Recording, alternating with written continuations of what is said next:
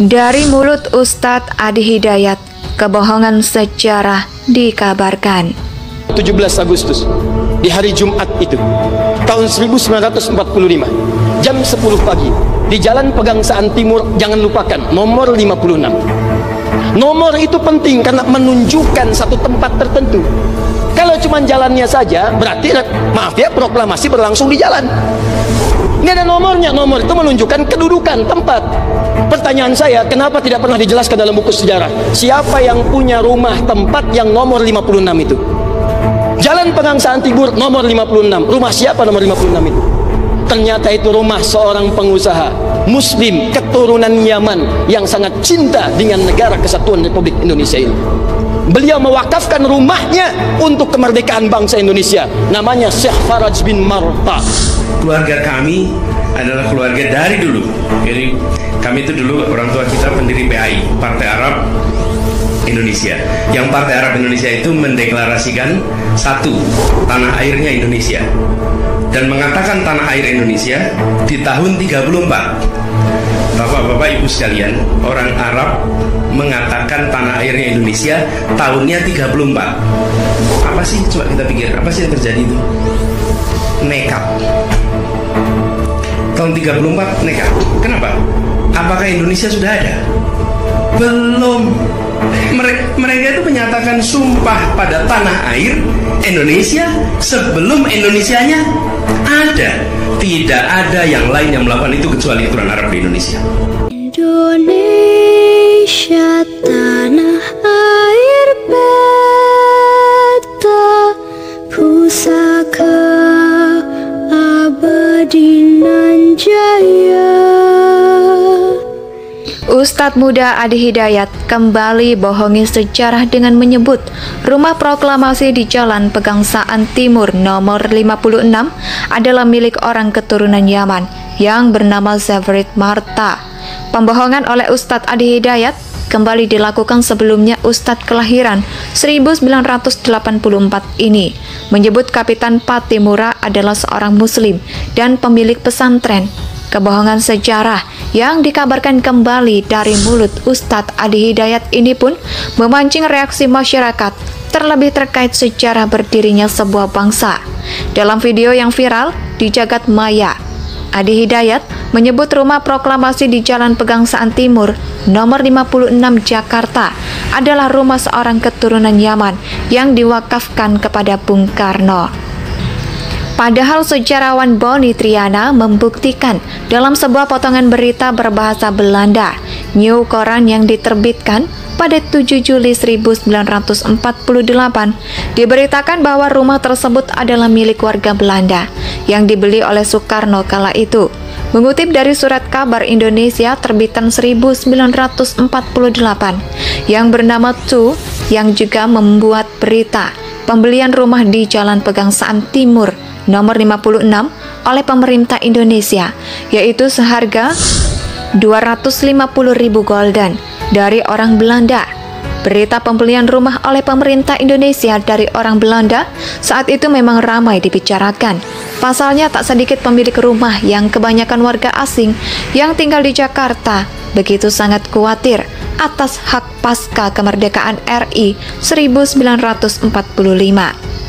Namun sikap Bung Karno membeli rumah di Pegangsaan Timur tersebut membuat warga asing pemilik aset rumah tanah dan kendaraan pun menjadi lebih tenang. Video tentang Adi Hidayat yang membengkokkan sejarah seolah-olah menggoda dikasih warga keturunan Yaman karena dianggap banyak berjasa untuk NKRI ini adalah pembohongan sejarah. Bahkan bukan hanya koran Tempo yang menerbitkan berita tersebut, karena memang kalau itu berita tersebut sangat viral dan banyak media-media massa memberitakan hal tersebut. Contohnya adalah surat kabar berbahasa Sunda Niawek Orang edisi Rabu 7 Juli 1948 Surat kabar Belanda pun juga memberitakan pada SDC 12 Juli 1948 juga memberitakan hal yang sama dari koran-koran terbitan tahun 1948 tersebut. Banyak diceritakan mulai dari riwayat rumah, kegunaan, hingga akhirnya dipakai oleh Soekarno serta tokoh lainnya. untuk memproklamirkan kemerdekaan Indonesia di tahun 1945 dan pada tahun 1948 gedung tersebut pun akhirnya resmi dibeli oleh pemerintah Indonesia. Dari sini pembengkokan sejarah oleh Ustadz Adi Hidayat pun akhirnya terbongkar. Ustadz muda Adi Hidayat kembali bohongi sejarah dengan menyebut rumah proklamasi di Jalan Pegangsaan Timur nomor 56 adalah milik orang keturunan Yaman yang bernama Zafrid Marta.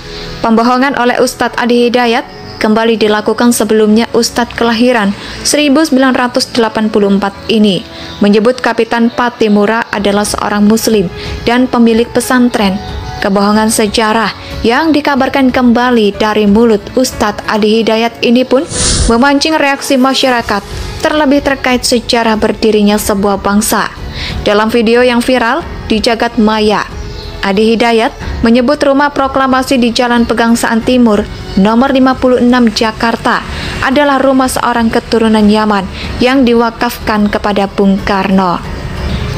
Padahal sejarawan Boni Triana membuktikan dalam sebuah potongan berita berbahasa Belanda, New Koran yang diterbitkan pada 7 Juli 1948, diberitakan bahwa rumah tersebut adalah milik warga Belanda yang dibeli oleh Soekarno kala itu.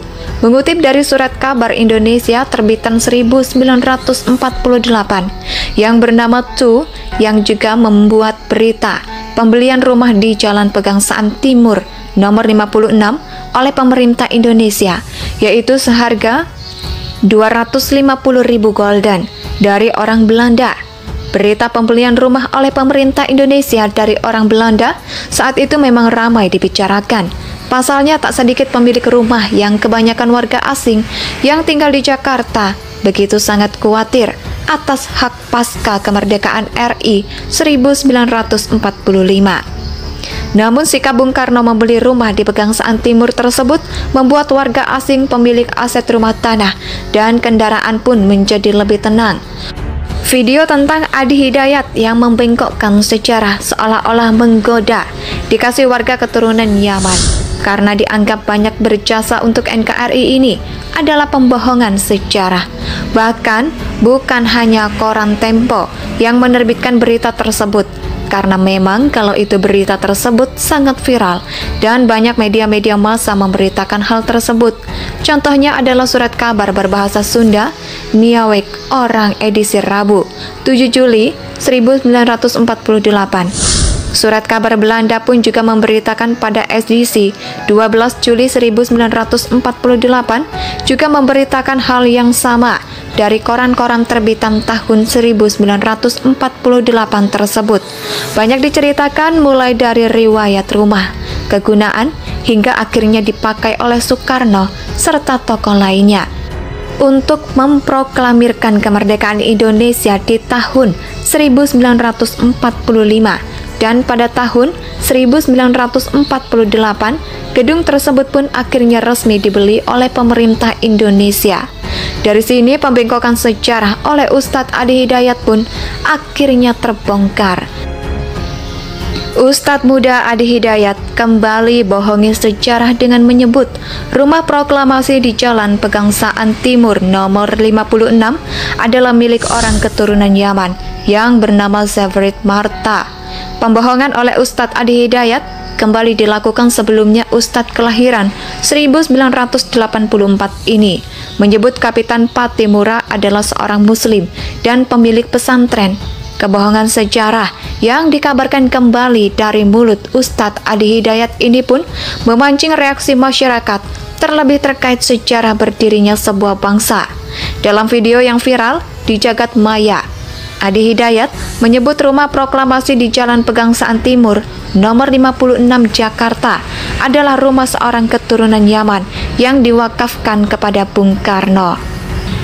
Padahal sejarawan Boni Triana membuktikan dalam sebuah potongan berita berbahasa Belanda, New Koran yang diterbitkan pada 7 Juli 1948. Indonesia tanah air